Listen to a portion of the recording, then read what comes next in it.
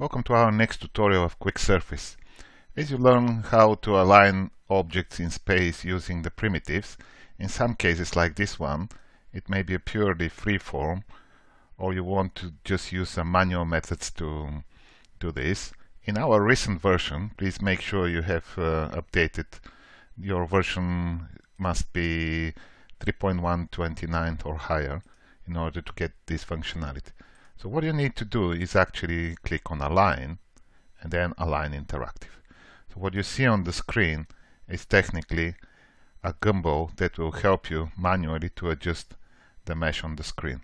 But before I begin, one good option is to actually align visually my object on the screen. As you can see now, I roughly see how it is. I can use the arrows just to turn the view by 90 degrees and when I'm happy I can just press as the current view.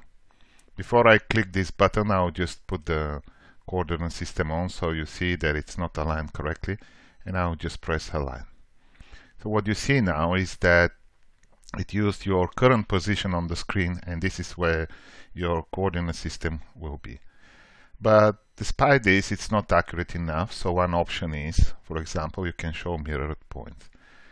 It's quite useful when you have symmetrical objects like this one, so you can see how the mesh is mirrored from one of the standard planes. This one is the left one.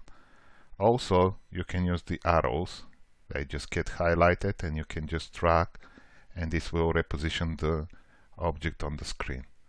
You can also use the rotational controls, so you can rotate the object also, so you can adjust or you can use these planes to move them in space.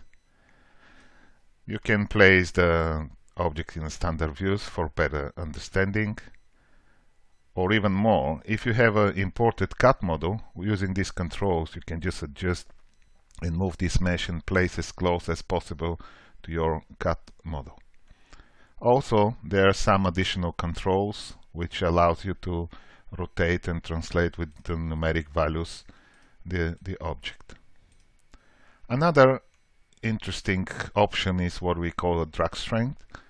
Now it's set to 100% which means that when I move with the mouse it just moves the object. But in some cases you need to really fine-tune your position. So that's why you can play with this drag strength. So as you can see now when I drag it really slowly moves the object in space. So more or less this is what you need for Align Interactive and you can combine this approach with the other Align using the coordinate system to position an object perfectly in space before you start with your reverse engineering. I hope this video was useful. Thank you for watching.